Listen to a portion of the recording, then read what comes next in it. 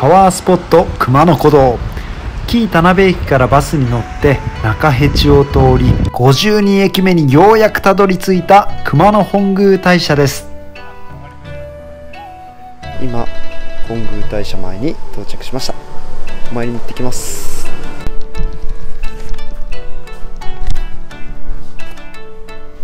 鳥居をくぐった先に飛び込んでくるのが無数の旗本殿へと続く158段の石段の両脇には旗がなびき風とともに旗が揺れる様子は圧巻の一言です。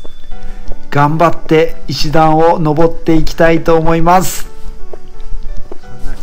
今から2000年以上前より日本人が信仰していたと言われる和歌山県熊野本宮大社。京都が都だった時代は貴族だけでなく法皇や上皇をはじめ多くの人々が参詣しました。当時から利用された道は熊野古道と呼ばれユネスコ世界遺産に登録されています。こちらの熊野本宮大社は平成7年に社殿が国の重要文化財に指定されたそうです。紙の門と書いて神門神門をくぐるとヒノキの皮を積み重ねて作られた日和田吹きの屋根が印象的な社殿が姿を現します。木材本来の色合いが年月とともに風化し落ち着いた景観に気持ちも静まってくるのを感じます。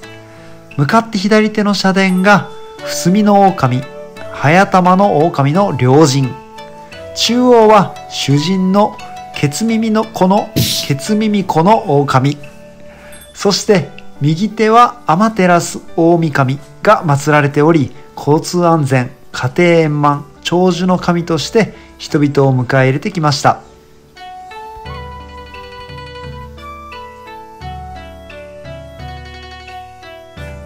い、えー今お参りしてまいりました。早く世界が平和でまた皆さんが無事に暮らせるように祈っています。それではまたお会いしましょう。さようなら。